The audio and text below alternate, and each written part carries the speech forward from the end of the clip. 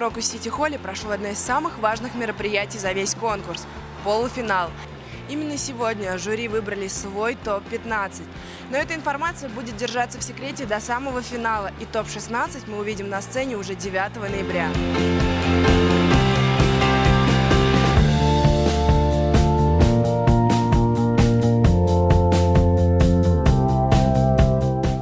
Девушки продемонстрировали роскошные формы, появляясь на сцене в купальниках. И, конечно же, невероятную грацию, блистая в вечерних платьях.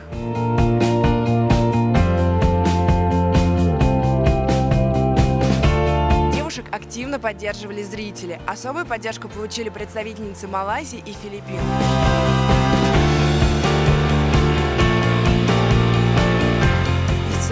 Грандиозный шквал аплодисментов был вызван появлением представительницы России Эльмиры Абдразаковой.